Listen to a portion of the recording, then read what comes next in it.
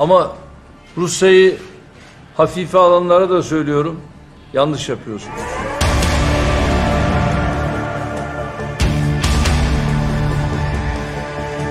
Rusya hafife alınacak bir ülke değil. Her şeyden önce Türkiye olarak Rusya Ukrayna arasında hep denge politikasını güttük. Bundan sonra da yine denge politikasını gütmeye devam edeceğiz.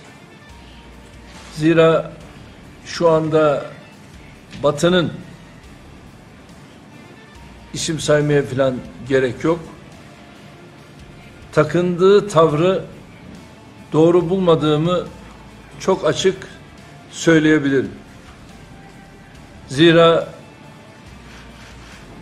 tahrik üzere kurulu bir politika güden Batı var.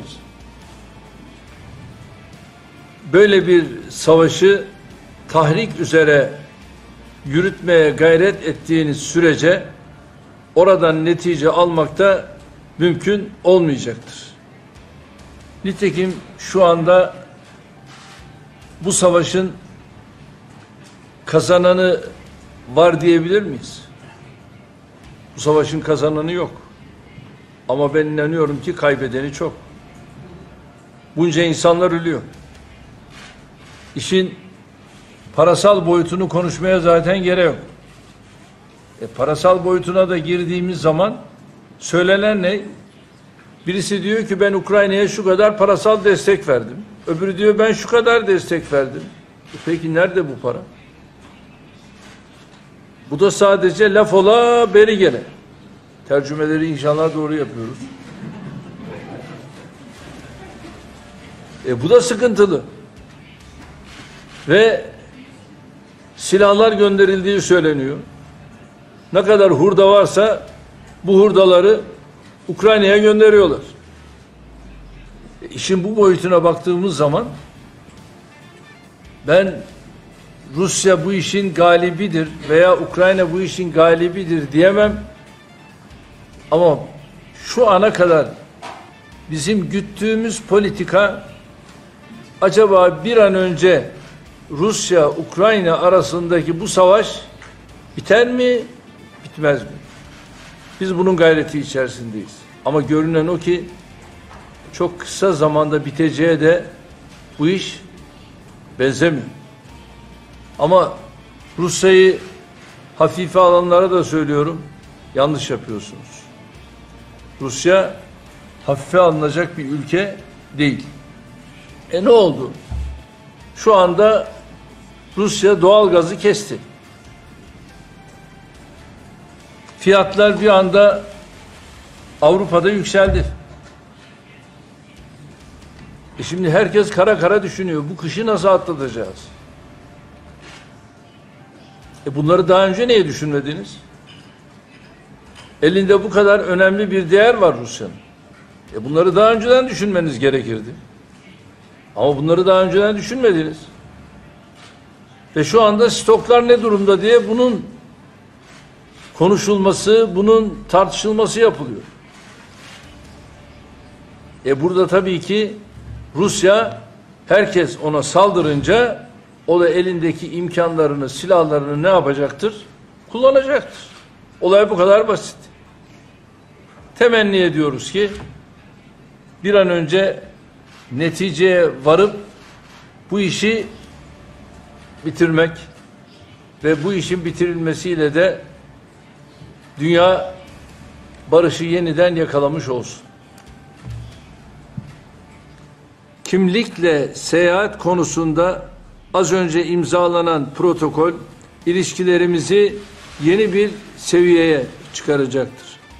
Nitekim bu yıl itibariyle Sırbistan'dan ülkemize 300 bin turist geldi. Bu demektir ki bu kimlikle başladığı andan itibaren hem sayı yükselecek, sayının yükselmesiyle kalmayacak, iş adamlarımız karşılıklı olarak yapacakları seyahatleri çok daha kolaylıkla gerçekleştireceklerdir.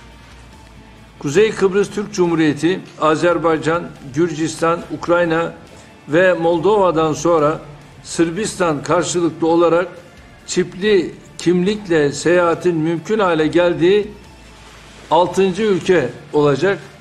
Bu arada malum dün aynı zamanda Bosna Hersek'le de ilk adımı attık ve Birleşmiş Milletler Genel Kurulu'nda da bununla ilgili imzalar atılacak. Ekonomik ve ticari ilişkilerimiz işbirliğimizin adeta dinamosu niteliğini taşıyor. Ticaret hacmimiz istikrarlı artış eğilimini salgın koşullarına rağmen sürdürdü. Geçtiğimiz sene yüzde otuz üzerinde bir artışla 2 milyar dolarlık seviyeye yaklaştık. Ortak hedefimiz olan 5 milyar dolara ulaşmak için de aynı kararlılıkla çalışmaya devam edeceğimize inanıyorum. Gerek bunu ikili görüşmemizde teyit ettiğimiz gibi aynı zamanda heyetler arası görüşmede de teyit ettik. Sayın Cumhurbaşkanı ile birlikte iştirak edeceğimiz Türkiye Sırbistan İş Forumu bu irademizin göstergesidir. Müteahhitlerimiz Sırbistan'da bugüne kadar 847 milyon dolar değerinde toplam 50 projeye imza attı.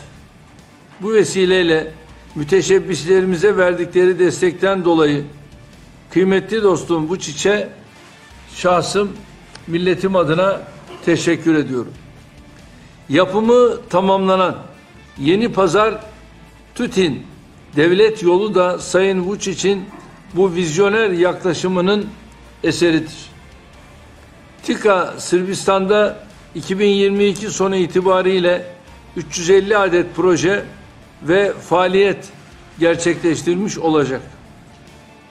Ortak tarihi ve kültürel mirasımız Bayraklı Camii'nin restorasyonuna en kısa sürede başlayacağız. Her yıl Avrupa'da yaşayan çok sayıda vatandaşımız Türkiye'ye karayoluyla seyahatlerinde Niş şehrinde konaklıyor. Bu nedenle Niş'te konsolosluk büromuzu faaliyete geçirdik. Konsolosluk büromuz hem vatandaşlarımıza hizmet edecek hem de ticari, ekonomik ve kültürel ilişkilerin gelişmesine katkı sağlayacaktır. Görüşmelerimizde Balkanlarda barış ve istikrara atfettiğimiz önemi bir kez daha teyit ettik. Sırbistan ile Kosova arasında kimlik kartlarıyla sınır geçişleri konusunda uzlaşıya varılmış olmasından büyük memnuniyet duyuyoruz.